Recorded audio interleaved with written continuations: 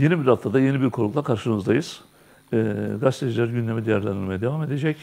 Türkiye'nin gündeminde öne çıkan konuları konuğumuz e, Karadeniz medyasından e, İhsan abiyle değerlendireceğiz orayı. Gündemde değerlendireceğimiz konuları. Önce ekonomiyle başlayalım. Tabii. Sevgili İhsan, ekonomiyle başlayalım. Ee, konu bizi artık götürdüğü yere kadar götürelim. Tabii bunu bir zamana sığdırmak zorundayız. Tabii. Zaman zaman da söze gireriz. Evet. Şimdi Ekonomimize öyle başlayalım e, bence. önce Can TV e, televizyona teşekkür ediyorum. Çalışanlarına da e, buradan emeklerine sağlık diyorum. E, sevgili Kerim Eren'e de e, bu programı beni davet ettiği için yine teşekkür ediyorum. Onu zaten e, İstanbul'da nerede bir eylem, cumartesi anneleri olmak üzere başta e, orada fotoğraf makinesiyle polisin önünde gazların ortamında, gaz ortamında görüyoruz.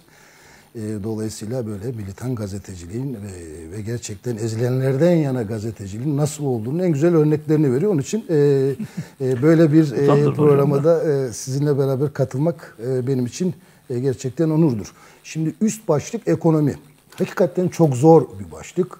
E, bir de ekonominin yanına krizi e, koyacağız. Çünkü e, Türkiye son bir buçuk yıldır özellikle e, bu yılın başından itibaren e, sürekli medyada zaten yaşamın içinde e, ekonomik krizle yatıyor, ekonomik krizle kalkıyor. Peki bugün müydü ekonomik kriz? Yani e, Türkiye ilk defa mı ekonomik krizle karşılaştı? Hayır, e, ilk defa karşılaşmadı. Ben 51 yaşındayım. E, doğduğumdan beri sürekli ekonomik krizlerle yatıp ekonomik krizlerle karşılaşıyoruz, kalkıyoruz ve bu ülke her 10 yılda bir bir ekonomik kriz sonrasında bir toplumsal muhalefete, toplumsal muhalefet sonrasında bir baskıcı rejime e, ve ardından yeniden bir makas e, değiştirmeye doğru gidiyor. E, bunu birebir yaşıyoruz. Çok uzatmaya da gerek yok aslında. Ya şöyle 1950'lerden alalım. Aslında daha öncesi de var ama e, 1957-58'de bu ülkede Menderes hükümeti zamanında bir anda bir 57-58 e, biliyorsunuz e, şeyi vardı, e, krizi oldu.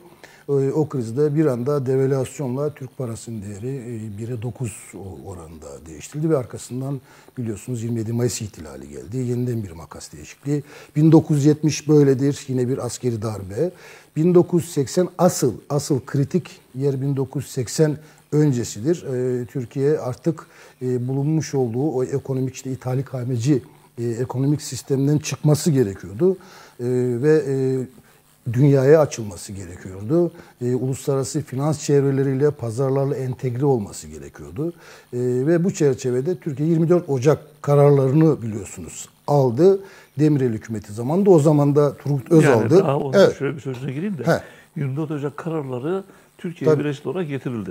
Evet tabii tabii. Böyle yani gerekiyor 24 Ocak kararları e, gündeme getirildi ama Türkiye'de öylesine bir toplumsal muhalefet var ki Bizde meşhur bir laf var. Memleket 10 senede muhtaç ettiler. Evet 10 senete bu tabii bunlar e, yani yalan e, siyasetin en önemli e, e, dayanaklarından bir tanesidir.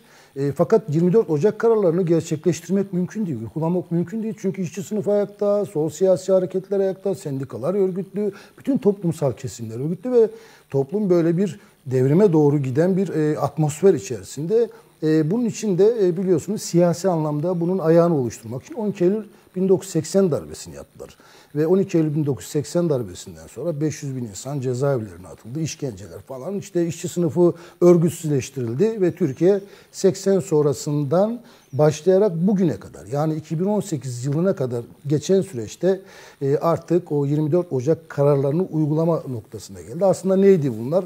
E, devletin e, piyasadan elini çekmesiydi artık bütün her şeyi piyasanın belirleyeceği bir modele doğru geçildi. Alınıp bütün değerlerin alınıp satılabileceği bir modele doğru geçildi. İhracata dayalı bir büyüme hedeflendi. Bu çerçevede de yeni bir sermaye birikimi, 80 sonrası zenginlerini biliyorsunuz sermaye birikimi oluşturuldu. İşçi sınıfı örgütsüzlendirildi. Köylülük üzerindeki destekleme alımları ortadan kaldırıldı. Kamu daraltıldı e, kamu iktisat teşebbüsleri dediğimiz bu ülkede insanların alın teriyle beraber, vergilerle beraber oluşturdukları e, kamu iktisat teşebbüsleri e, özelleştirilme sürecine girdi. Ve Türkiye bu 80 sonrasından bugüne kadar ki olan süreçte e, dünyada da aslında neoliberal akımların, yani bunu dünyayla da bağını kurmamız gerekiyor. E, başladığı yıl olarak 1980'dir. Arjantin'de böyledir, İngiltere'de böyledir. Bütün dünyada 1980 neoliberal dalganın başladığı yıl olarak e, ele alınır. Thatcherizm'dir, işte öbür tarafta Reaganizm'dir, öbür tarafta Peron vardır falan. Yani e, Türkiye'de bu dünyadaki bu o, değişime uygun olarak kendisini bu değişime uluslararası sermayeye, e, uluslararası finans çevrelerine bağlayacak adımları atmış oldu. Şimdi o günden bugüne kadar da yine 10 yılda bir bu ülke krizlerle boğuştu. Yani bakıyorsun 60, 70, 80, 90, 2000, 2001 krizine gelelim. Yine 2001 krizi bu toprakların yaşamış olduğu e, en e, felaketli krizlerden birisiydi. 1 milyona yakın insan e, biliyorsunuz işinden olmuştu. Tarım sektörü çökmüştü. Ve yine 2001 ile beraber Türkiye bir makas 2001-2002 kriziyle beraber bir makas değişikliğine girdi. Çok iyi hatırlıyorsunuz Dünya Bankası'nın Amerika'dan ithal bir Kemal Derviş bakan geldi. 15 günde 15 yasa çıkmazsa ben bu işi yapmam Amerika'dan da gelmem dedi. Ecevit hükümetinin olduğu zaman da hatta daha sonra Ecevit işte Kemal Derviş bize büyük bir kazık dedi ama bu tabii inandırıcı bir şey değil. Çünkü e, sen e, kapitalist bir e, devlet mekanizması içerisinde uluslararası sermayeyle entegre olmuş bir yapın içerisinde kendini var ediyorsan o zaman uluslararası finans kuruluşlarının yönetim mekanizmalarının sözünü dinlemek zorundasın. Bunun dışına çıkma mümkün değil. Bu bütün devletler için böyledir. Böyle geçerlidir. O 15 yasada ne vardı aslında? E, o 15 yasada şu vardı. Bu tahkim, uluslararası tahkim e, anlaşması vardı. Özetle söyleyeyim. Hepsini e, buraya anlatmaya gerek yok. E, tahkimde uluslararası yabancı sermaye e, şirketlerin ülkeye yapmış oldukları yatırımlarda e, bu yat, o buralarda doğacak olan sorunları uluslararası mahkemeler çözecek. Yani senin kendi mahkemelerin şöyle, ortadan kalkıyordu. Şöyle işte özetle söyledik onu. Evet. E, uluslararası sermayenin güvencesi Tabii diye. tabii güvence altına alıyorlardı. Yani. Bunun altına imza attılar. E, ikincisi şeker yasası çıktı çok iyi biliyorsunuz. Şeker yasasıyla beraber 500 bine yakın şeker üreticisi, e, pancar üreticisi e, e, şeyden çıktı. Yani üretim sürecinden düştü. Tütün yasasını çıkardılar. E, benzer bir biçimde aynı oldu. Bankacılık yasasını çıkartarak e, bankaların e, boşaltılan bankaları takviye ettiler. E, ve e, bankaları uluslararası standartlara e, uygun hale getirdiler. Ondan sonra ne çıktı? Merkez Bankası çıktı. Merkez Bankası'nın hükümetlerin denetiminin dışında uluslararası merkez bankalarına bağlı sözde özerk bir yapıya dönüştürdüler. Bunlar çok temel değişikliklerdi ve Türkiye böyle bir rota değişikliğine girdi ve dünyaya baktığımız zaman ne vardı? Dünyada dolar e, faiz çok e, düşüktü ve e, çok yüksek miktarda dolar vardı. Biraz faiz yükselttiği zaman Türkiye korkunç bir dolar girdisi olmaya başladı. Şimdi şöyle bakıyoruz. Türkiye'de o zaman için yani 2001-2002 krizine baktığımız zaman e, Türkiye'nin e, borcu, dış borcu 150 milyar, 140 milyar dolar civarındaydı ve gayri safi yurt içi hasılası yani bir yıl boyunca üretmiş olduğu değerler 200 yani 250 milyar dolar civarındaydı. Yani e, neydi? E, gayri safi yurt içi hasılasına oranı %57'ler civarındaydı. O kriz ortamında bu çok büyük bir rakamdır. Yani ürettiğinin yarısı kadarı senin için borç. Bu borcu ödemek zorundasın. Fakat e, bu borcu çevirmek için olanaklar çok müsaitti. Çünkü dışarıdan çok rahatlıkla dolar girdisi vardı. ABD bu anlamıyla dolar kaynaklarını aşmış. E, dolar piyasaya oldukça yüklük miktarda dolar sürmüş. Ve bizim gibi gelişmekte olan ülkeler bu gelen dolarla beraber e, kendi ekonomilerine nefes aldıracak bir e, ortam da yaratmışlardı. Şimdi o günden bugüne bakıyoruz. E, 2018'e bakalım. Bugün Türkiye'nin e, borcu 450 milyar dolar civarında. E, ortalama gayri safi yurt içi hasılası 795-800 milyar civarında. Yine 2002'nin oranlarına geldik. Yani %55 civarında bir noktaya yine geldik. E, peki bu arada ne yaptık? 150 milyar dolardı. Yani 300 milyar dolara yakın bir para bu ülkeye bu 16 yıl boyunca girmiş. 16 yıl boyunca 350 milyar dolar para girmiş. Ben buna gayri e, resmi olmayanları saymıyorum. Mesela resmi olmayanlar derken neyi kastediyorum? E, biliyorsun 2018'in ilk 3 ayında e, 13 milyar dolar gibi bir rakam kayıt dışı, kaynağı belli olmayan bir para bütçeye girdi. Şimdi bunları bir tarafa koyuyorum. Resmi olan şeylerden söylüyorum. E, 300 milyar dolara yakın bir para girmiş 16 yılda. Peki ne oldu bu para? Artı 60 küsür milyar dolarda özelleştirmelerden gelen bir para var. Ne oldu bu para? Ne oldu? Üretime dönmeyecek yani tekrar e, kıymetlendirilemeyecek alanlara yatırıldı. Yol yaptılar. Betona diyorlar ya. işte inşaat yaptılar. inşaat sektörünü e, canlandırdılar. betona Tabii betona gömdüler. Üretime E, yönelmeyen kanallara Evet, gitti. üretime yönelmeyen kanala, e, kanallara akıttılar bu paraları ve deniz bitti. Şimdi asri saadet dönemi ortadan kalktı. Bundan sonra artık yani zaten borç ekonomisiydi bu ekonomi E, ve bugün bu borç ekonomisi bizim emekçi halkların üzerine korkunç bir yük bindirdi. Tabii bu kriz sadece Türkiye'nin krizi değil.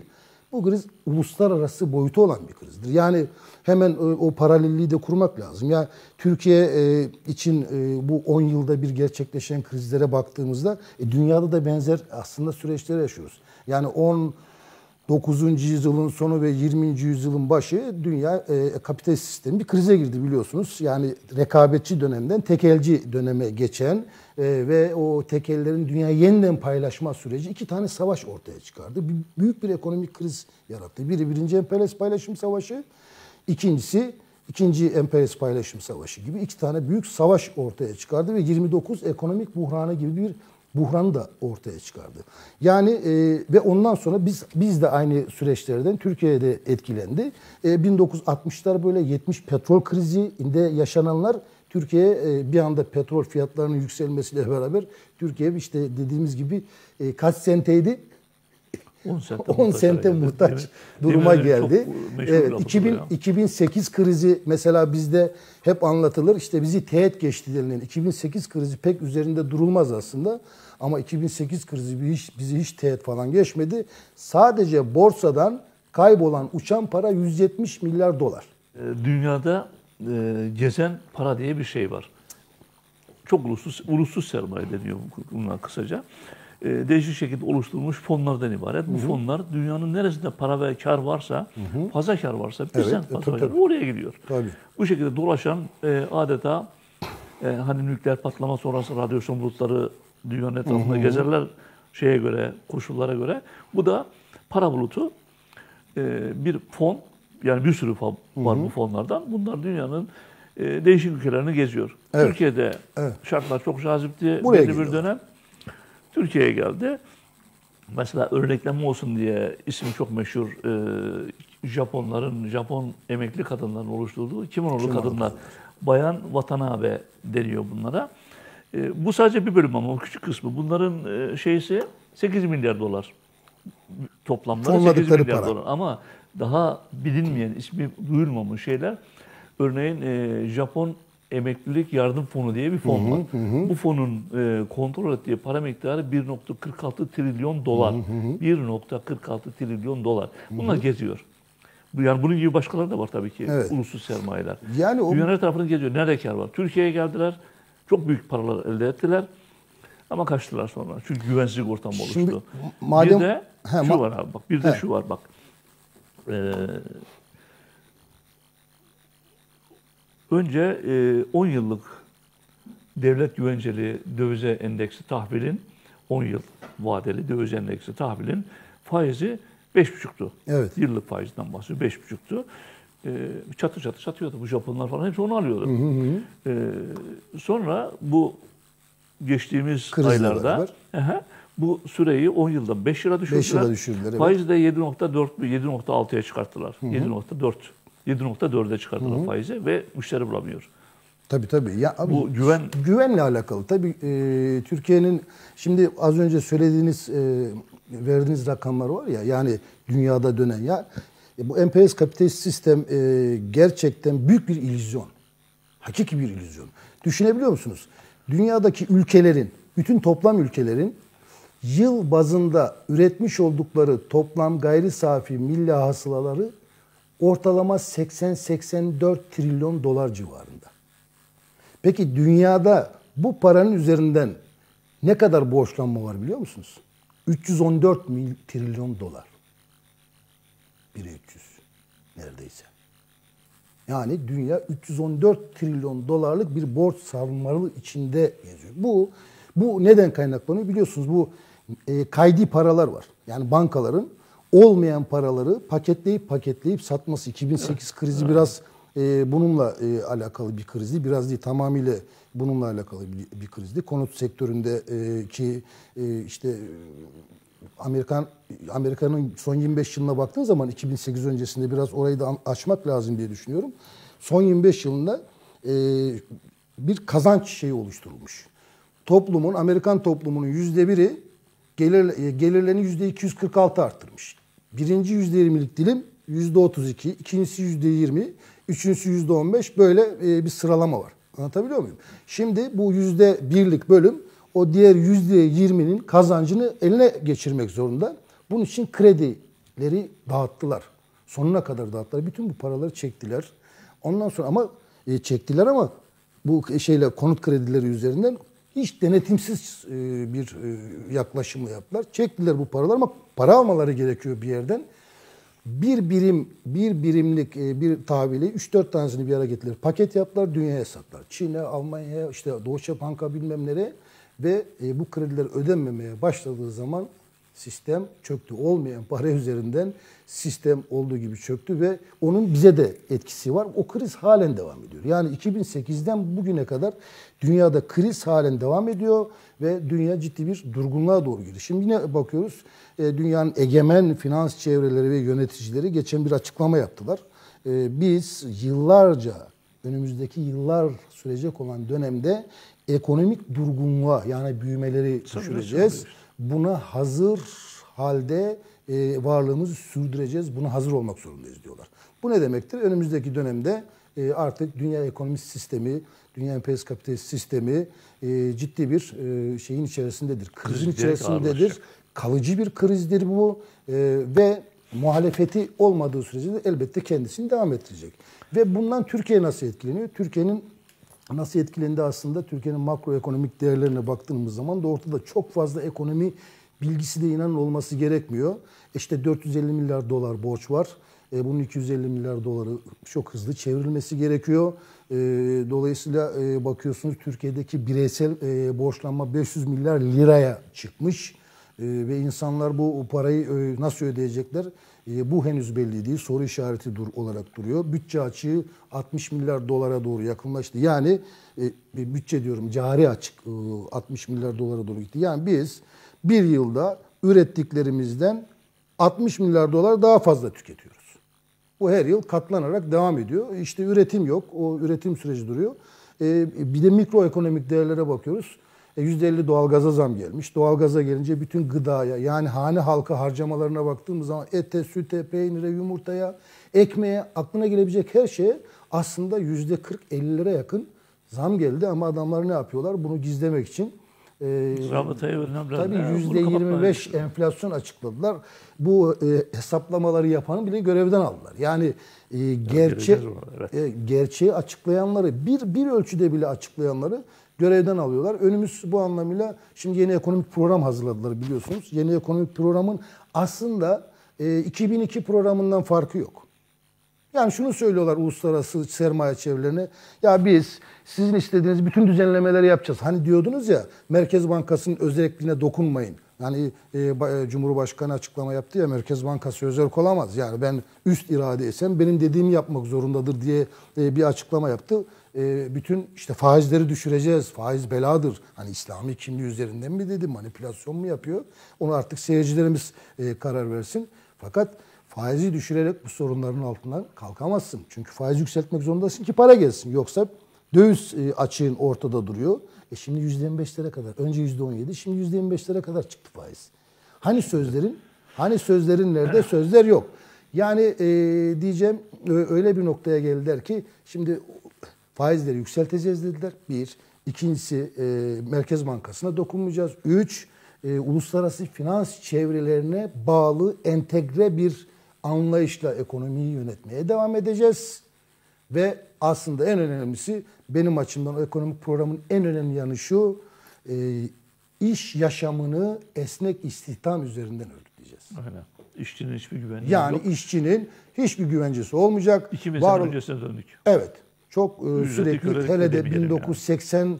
karşı devrimi diyelim öyle söyleyelim biz. Buna hiç ötesi yok tartışmasız. İşçi sınıfına ezilenlere yönelik yapılan bu darbe eldeki bütün hakları geldi geldi AKP iktidarla beraber bugün son noktaya geldi ama artık onlar için de deniz bitti. Yani bu toplumu baskı dışında bu toplumu ekonomik anlamda iliğine kadar sömürme dışında bu borçları ödemek için yapabilecekleri çok fazla da bir şey yok Kerim. Bunun sonuçları nasıl olacak Evet. peki? Şöyle diyelim orada. Bunun sonuçları nasıl oluyor? Buna da bir değinmek istiyorum. Ben geçen bir gazeteyi inceledim. Birkaç tane gazeteyi inceledim. Sonuçları aslında yavaş yavaş yaşanıyor. Yani kriz aslında tam istediğimiz gibi hissedilmedi. Önümüz kış. Şimdi %50 e, diyelim e, doğal gaz zammıyla bu insanlar ısınacaklar. Nasıl ısınacaklar? E, az önce söyledim hane halkı harcamalarında %50'lere varan artışlar var. Bu insanlar nasıl beslenecekler? E, hiç- e, reel gelirlerde hiçbir artış yok. Toplu sözleşmeler e, olduğu gibi duruyor. E, yeni bir sözleşme şeyi yok. Sendikalarımız da bu anlamda bir talepte bulunmuyorlar. Türk İş'in böyle bir talebi vardı. Hemen, hemen bunu iş, iş- işverenlerimizle işbirliği içerisinde diye e, çevirdiler. Ülkenin çıkarları, âli çıkarları arasında. Ne- Neredense hep bu âli çıkarlar mevzu olunca işçi sınıfı ve ezilenler bu çıkarlar için fedakarlık yapmak zorunda kalıyor. Diğerleri ise e, mevcut e, bütün kaynaklardan, e, toplanan vergilerden e, borçları siliniyor ve benzeri e, böyle bir e, handikap, böyle bir e, çelişki içindeyiz. Dolayısıyla onu söyleyecektim ben hem işi kesmeden söyleyeyim. 90 küçük ölçekli böyle saydım tek tek Türkiye genelinde küçük ve orta ölçekli iş yerlerinde grev var. Ya grev var, ya soka- e, iş durdurma var, e, ya işten atılanlar için e, yürütülen mücadeleler var, ya kurulan grev çadırları var. Bunlar tabii ki giderek önümüzdeki kış döneminde daha da artacak e, ve insanlar onlara dayatılan bu yaşam biçimini asla kabul etmeyecekler. Zaten kabul etmek mümkün değil. Şimdi e, kriz demek suç gibi algılanıyor. Adeta vatan haini işte krizden bahsedersen vatan hainisin e, algısı oluşturmaya çalışıyor. Zaten bizim e, hükümetler şey olarak yönetiyor. Hükümet de diyemiyoruz artık da e, Cumhurbaşkanlığı sistemi algı üzerine yönetiyor her şeyi. Evet. E, Evet. memleket bu durumda. E, ekonomi batmış vaziyette ama ona rağmen e, şunu rahatlıkla o hangi tarafta olduklarını gösterme açısından diyorum. Senin 100 lira vergi borcun olduğu zaman senin evine icra getiriyor. Kesinlikle tabii. Evet. Ama o öyleyken bakıyoruz şeyine notlarıma Cengiz İnşaat'ın 422 milyon liralık borcunun tamamını silebiliyorlar. Evet. E, yahut e, yüzde yüzleri sadece bahsediyorum. Türk Türk'ün, Tav Türk'ün 390 liralık, 390 milyon liralık borcunun yüzde yüzünü siliyorlar. Güner İnşaat'ın borcunun yüzde yüzünü siliyorlar. Yani bunların toplamı 22 küsür milyar dolar yapıyor. Yani bu Evet, devletin ya da hükümetin elde edeceği vergi gelirleri. Evet, vergi gelirleri. Ama bu krize rağmen bunları silebiliyor. Ve bu vergi gelirlerini e, diyelim e, işçilere, ezilenlere ek olarak e, bir katkı olarak bu krizden çıkış sürecinde bir katkı olarak e, verebilirler. Fakat bu hiçbir Yok. zaman tabii böyle e, tamamen e, sermayeyi, tekelleri koruyan bir devlet mekanizması içerisinde bu tarihte hiçbir zaman olmamıştır. O e, bunu beklemekte e, tabii hayal hayal ötesi bir şeydir. Ecevit hükümeti döneminde, son Ecevit hükümet döneminde Evet. diyelim. Yazar kasa Evet, fırlat. 60'lı esnafın bir tanesi işte krizin boyutunu anlatması açısından bu da Ecevit'in sonu olmuştu belki Şimdi de. ama bu, burada da böyle bir yanılgı ortaya çıkartıyor. İşte bir yazar kasa Ecevit'in sonu işte bir Yok, anayasa kitapçı, şey. he, Bu anayasa şeyler, kitapçığının e, fırlatılması ekonomiyi alt üst etti. Hayır yani Bunlar e, sembolik şeyler son- hocam. he, Benim son- söyleyeceğim şey başka. Şu aslında konuştuğumuz nokta e, daha önce konuştuğum bir şey vardı. Kemal Derviş Derviş yasaları diye geçti ya. 15 günde 15 yasa. E şimdi Ya AKP. AKP bunların üzerinden zaten var etti kendisini. Onun kuralları Ha, zaten. tabii yani AKP e, diyelim emperyalist işte ABD tarafından e, Büyük Orta Doğu projesinin e, yürütülmesi gerekiyordu. Siyasi anlamda da böyle bir yapılanmaya ihtiyacı vardı. Bunları e, yani konumuz ekonomi olduğu için çok fazla girmek istemiyorum. E, AKP'nin e, bir proje partisi olduğunu, böyle kurulduğunu ve Orta, Büyük Orta Doğu projesinin eş başkanı olarak Orta Doğu'da ABD çıkarları doğrultusunda rolünü oynayan bir iktidar olarak tasarlandığını kendi kurucuları söylüyorlar.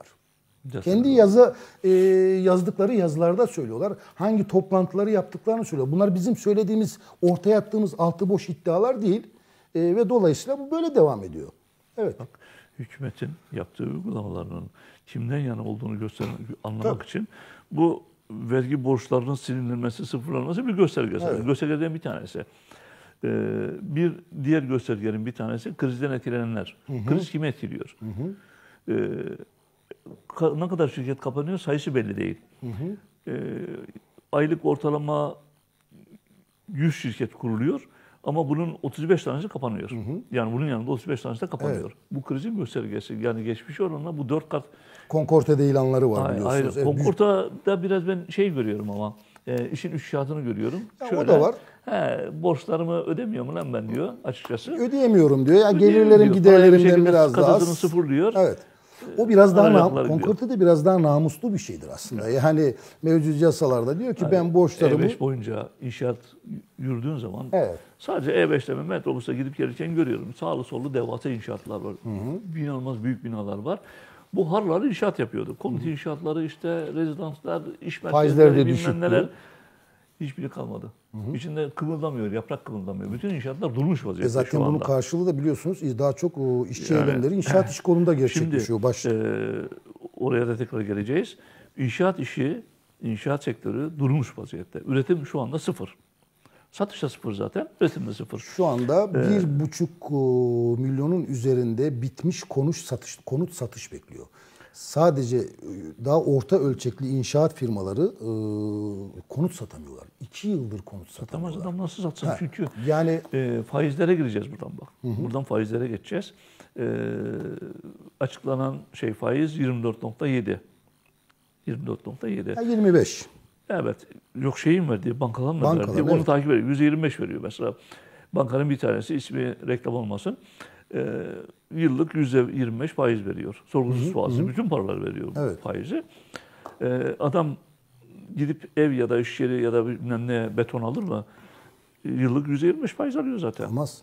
Olmaz. O yüzden konut e, ya da inşaat sektörü sıfırlanmış vaziyette. şöyle bir şey de var ama e, onu da aslında burada e, hemen söyleyelim.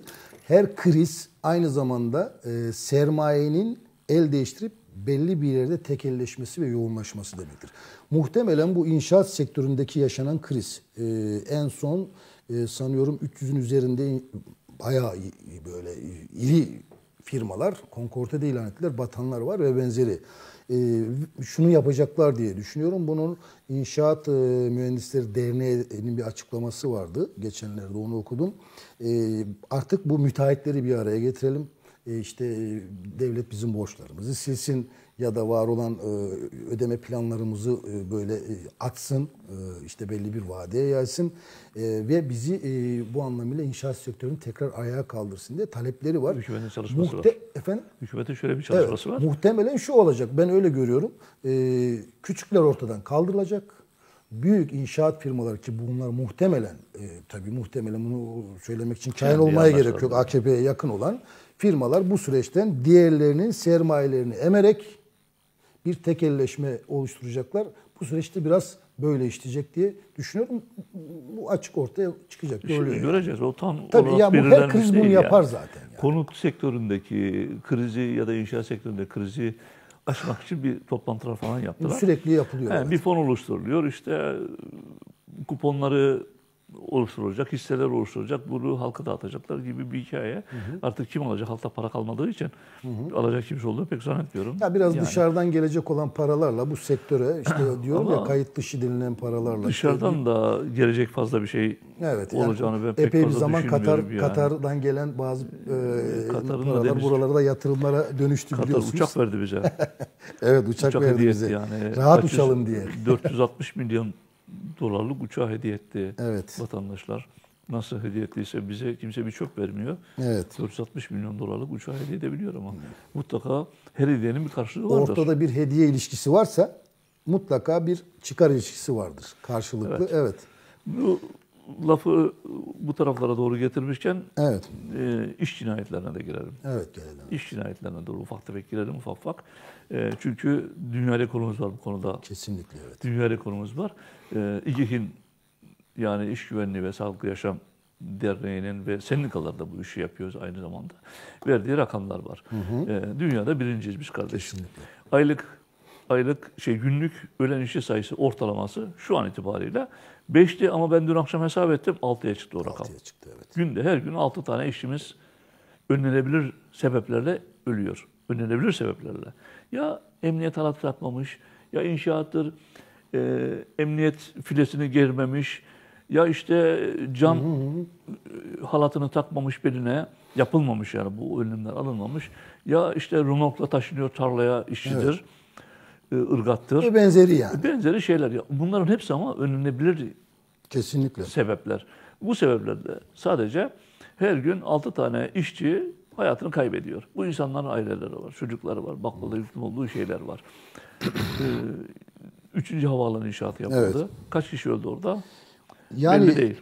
E, belli değil. Belli değil resmi resmi resmi, rakam. rakamlara göre 30 küsür kişi 38 kişiyi diyorlar. resmen E, açıkladılar. Ama bu resmi rakamlar. Fakat e, biz basından elde ettiğimiz e, sözlü diyelim sözlü e, gazete bizde artık çok daha e, dikkate alınır olmaya başladı Evet. biliyorsun. 400'ün üzerine olduğu falan da söyleniyor. Şimdi- böyle böyle rakamlar da ortaya çıkıyor. Zaten 3. havalimanı başlı başına bir facia gibi duruyor aslında. Biraz ona değinelim istiyorsan. Evet, değinelim. Yani, e, Geçen programda değindik ama e, şimdi açılışını yapıldı.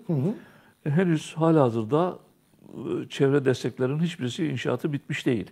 Hayır. 9 tane pistten ikisi sadece yapılmış. E, 7 tane pist ortada yok. Ya ortada Şimdi şöyle bir geyik dolaşıyor. Bak internette şöyle bir geyik dolaşıyor.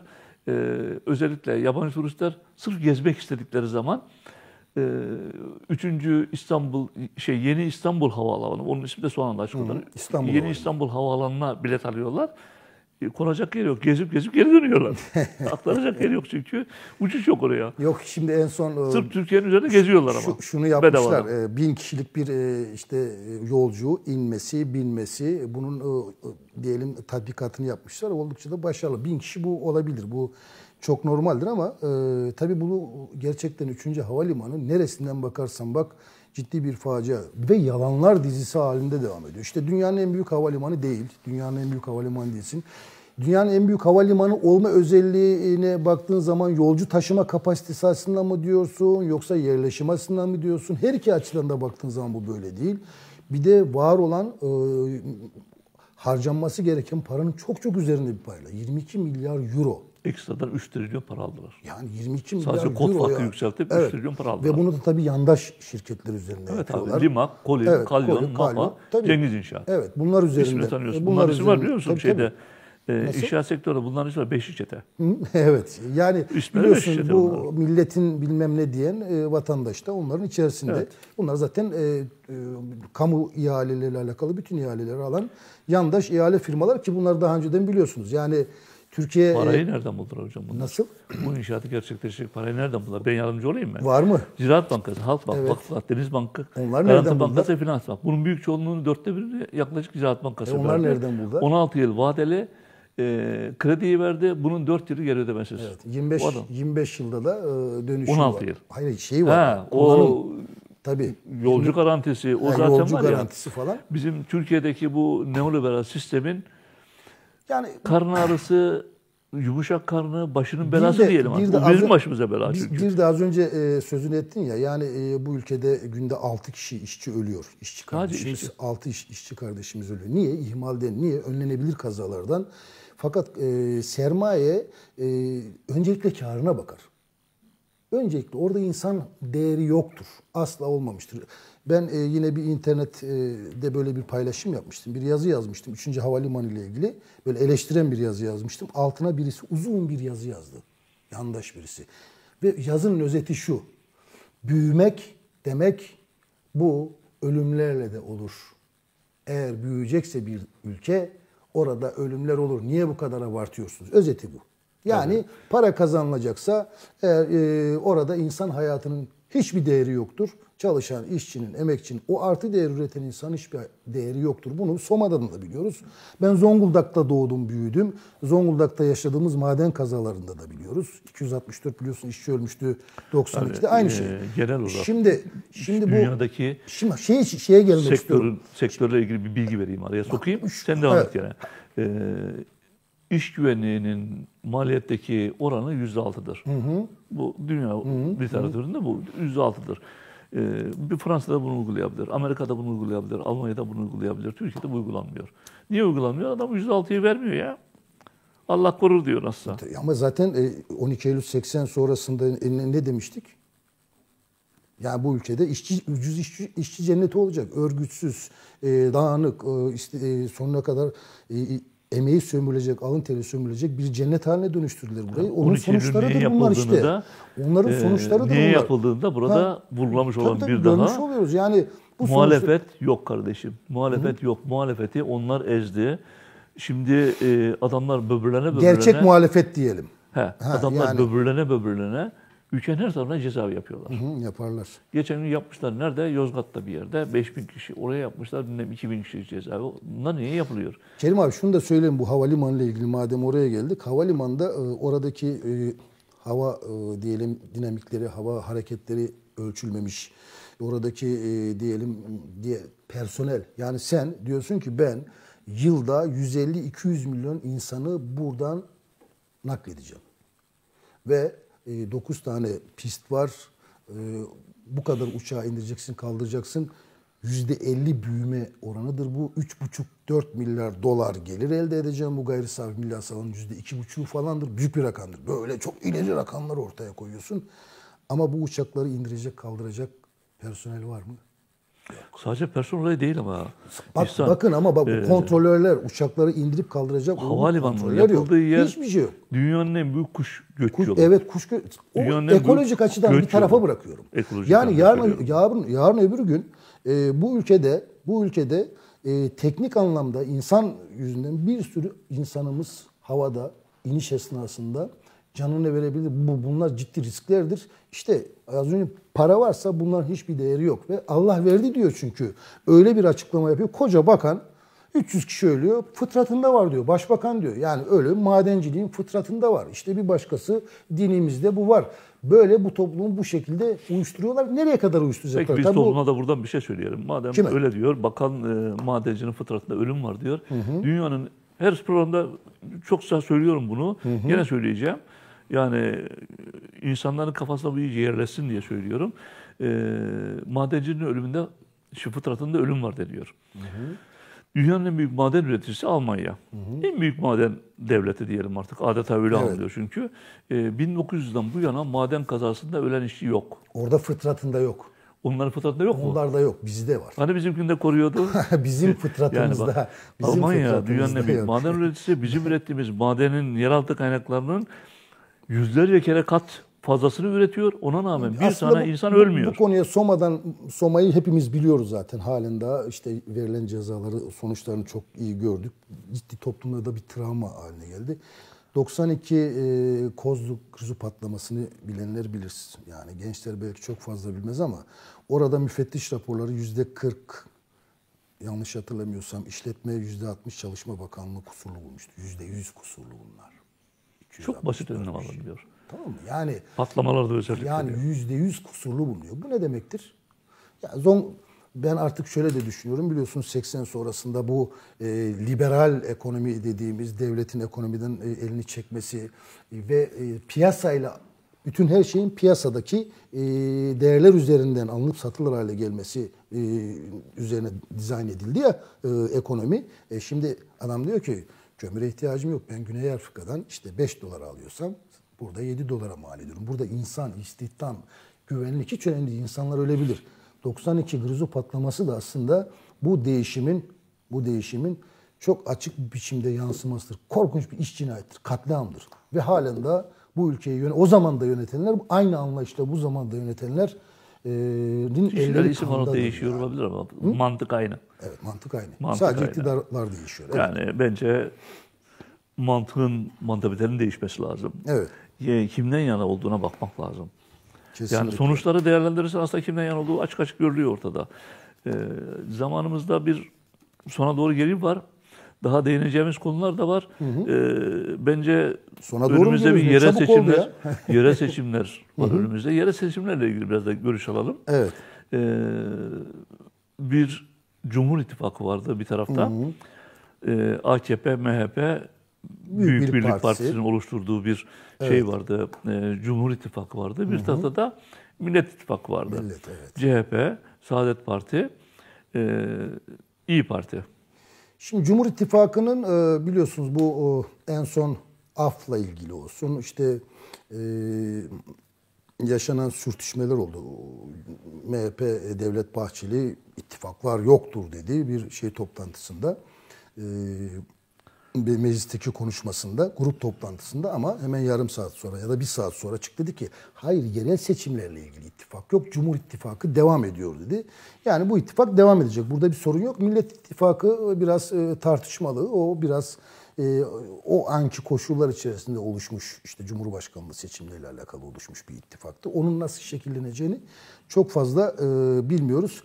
Ama şu var Kerim abi çok önemli olan diyelim e, mesele şu. Türkiye'nin batısı tamam. Yani burada bir şekilde e, bu seçimler e, olacak. Ama Türkiye'nin e, diyelim Kürdistan coğrafyası. Kayyum olayı var. Evet yani orada bütün Kayyum devlet- tehdidi var açık, doğrusu. açıkça şunu söyledi. Arkadaş bizim dışımızda, bizim çizgimizin, isteğimizin dışında e, seçilen belediyeleri biz yine kayyum atarız, atarız. Yani çok açık. Bu sadece orası için değil, Batı için de geçerli. Anlatabiliyor muyum? Yani burada bir demokrasi, burada bir e, işte özgürlükler e, ortamı e, beklemek çok zor. E, bunu bir kere bunun altını çizelim. Ama şimdi e, çok ilginç bir gelişme oldu. Bunu nereye koyacağız? Bunu bir tartışmak gerekiyor. Sayıştay raporları. Aynen. Evet, Ben de lafı yani- oraya getirecektim zaten. Nasıl? İyi getirdin. Ben de lafı oraya getirecektim. Evet şimdi tam e, Mart 2019 seçimleri öncesinde böyle bu seçimlerin tartışıldığı bir dönemde Sayıştay'da bir e, başkan yardımcısı çıkıyor. İşte İstanbul Büyükşehir Belediyesi olsun, İETT işte ve benzeri Kayyum diğer belediyeler dahil Evet dahil olmak var. üzere bütün bu Sayıştay raporlarını açıklıyor ve Sayıştay raporlarında e, en son rakam 753 milyar liraydı zannediyorum. Büyük rakamlar. 753 milyon lira pardon özür diliyorum. 753 milyon liralık bir e, şey var. Usulsüzlük. Bir, bir usulsüz, hırsızlık var arkadaş. Aynen. Yani eş, eşyayı ismiyle çağıralım. Bu bir hırsızlık var. Bu hırsızlık çok açık biçimde devlet ihale kanunundan tut da her şeyi yok saymışlar. istedikleri gibi yağmalamışlar. Bu, bu da Sayıştay'ın bütün olan haksızlıklara rağmen çıkardığı rakam bu. Ha, şimdi Yani- yani bir kuruma girdiği zaman Ha. e, şu şu şu belgeleri istiyorum diyor. Evet. Normalde normal koşullarda Sayıştay'ın istediği o bilgileri onun istediği formatta Evet. Sayıştay görevlisine vermeleri gerekir. Ama adam alleme diyor, gulleme diyor, raporları vermiyor, Vermiyor. bilgileri Ver- vermiyor. Verilenler üzerinden çıkan rakam bu büyük bir rakam. Neredeyse 1 milyar lira.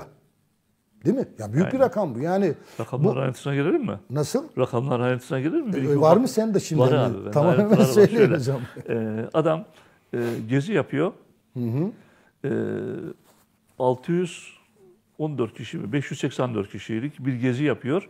10 bin kişilik fatura ediyor. Ha, Bak buyur. alt- 600 kişi diyelim hadi. Yuvarlak hesap oldu. 600 kişilik bir gezi düzenliyor bir yere. Atıyorum Antalya 600 kişilik gezi düzenliyor. Ama faturayı 10 bin kişi olarak 10 bin kişi gösteriyor. fatura gösteriyor. ya. Evet. Hortum alıyor. Hortumun metresi 1 lira. 1 lira, 1 Türk lirası. Bir Türk liralık şeyi hortumu 18 lira gösteriyor. Ve ve ve bakıyorsun şimdi gerçekten çok ilginçtir.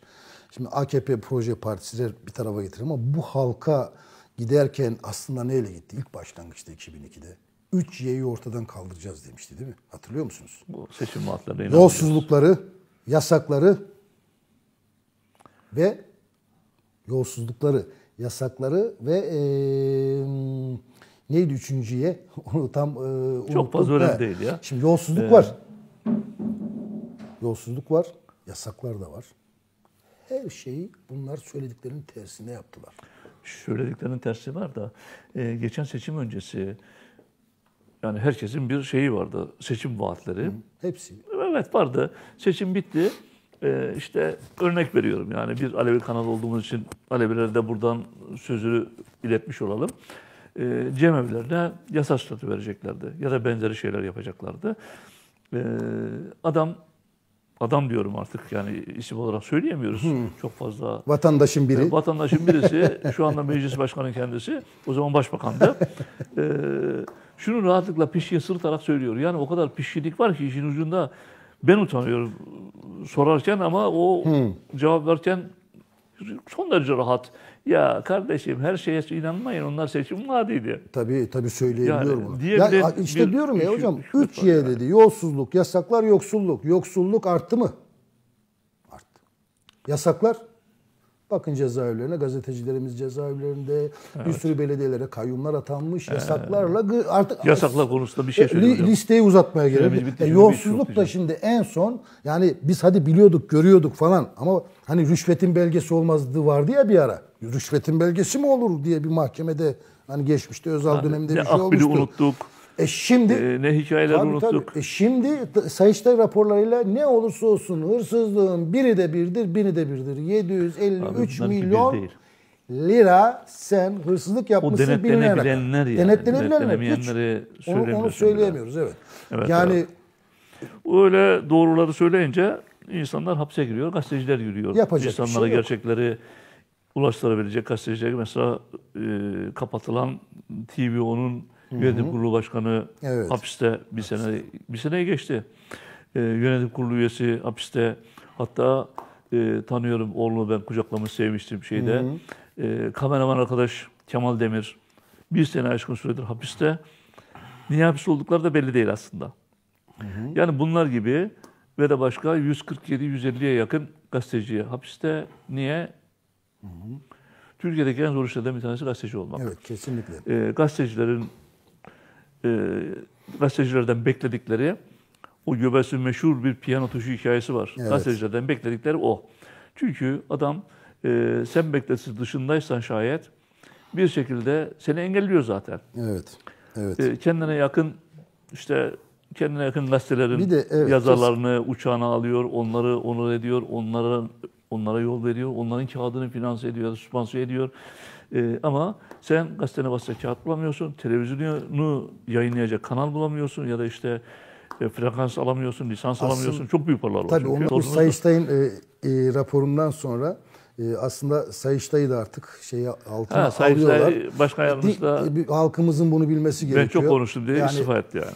Bunlar en son ne yaptılar? Kendilerini denetleyebilecek Başbakanlık Teftiş Kurulu, ondan sonra bir sürü müfettiş yapı kurumları ve benzeri maliye e, üzerinden bütün bunları lağvettiler kapılarına. Kilitleri vurdular. Bir tane denetleme kurumu var şimdi. Devlet Denetleme Kurumu o da kime bağlı? Direkt saraya bağlı. Onun da raporları gizli saray tarafından biliniyor. Hiç olmazsa Sayıştay'ın e, bu e, diyelim eldeki verileri kullanarak ortaya çıkarmış olduğu bu yolsuzluk e, belki halkımız artık çok net bir biçimde görür. Bundan sonra böyle Sayıştay'ın raporlarının da gelebileceğini çok fazla düşünmüyorum. Çünkü öyle bir Yok ki mekanizma kalmadı. kalmadı. Evet. Onun açığını kapattılar. Şimdi şöyle, e, bu yeni güçlendirilmiş Cumhurbaşkanlığı sistemini yaparken önceden e, yapısını oluşturup ya da altyapısını yasal anlamda altyapısını oluşturup sonra sistemi kurmadılar. Önce sistemi yukarıdan aşağı kurdular. İhtiyaç duydukları anda Cumhurbaşkanlığı kararnameleriyle bu açıkları kapatıyorlar. Evet. Şimdi meclisten herhangi birisinin zaten e, bakanlar kurulu bile demiyoruz. E, Cumhurbaşkanlığı komitesi mi diyebilirsiniz işte 16 kişiye ne isim En son verirseniz. me- meclis- Bakan da diyemezsin artık Meclise bakın yani. yani. Mecliste en son bu doktorlarla ilgili yasa e, e, gelirken komisyonda tartışılırken ya çok ilginç şeyler onları takip ediyoruz. Siz de ediyorsunuzdur mutlaka. Yani e, iktidar e, milletvekilleri hiçbir şey önüne gelen yasayı e, gece 3'te sadece onaylıyorlar. Orada sadece tartışıyorlar. Yani niçin bu yasa önümüze geldi? Buna dair söyleyecekleri tek bir söz yok. Ya öyle şey hani tarihsel benzetmeler var. E, Hitler e, biliyorsunuz önce Yahudi doktorlar sonra muhalif doktorların doktorluk yapmasını yasakladı. Şimdi bakıyorsun o aynı şeyler geldi bizim ülkemizde. Bizimkiler Sa- göbesten kopya çekiyor. yani ciddi şekilde kobe çekiliyor. Evet. Sohbet çok keyifli. Karadeniz'in ikliminin verdiği şehvetle arkadaşımız güzel güzel anlattı. Biz de izledik, dinledik. Sağ olsun yoruldu buraya kadar geldi. Teşekkür ediyoruz kendisine. Ben teşekkür ediyorum e, Kerim abi. Türkiye böyle durumda şu anda. Umarım e, haftaya yeni programda, yeni konuklarla karşınızda olduğumuzda daha güzel bir Türkiye'den, daha güzel bir sabahtan, gelecekten bahsedebiliriz. Biz izlemeye devam edin.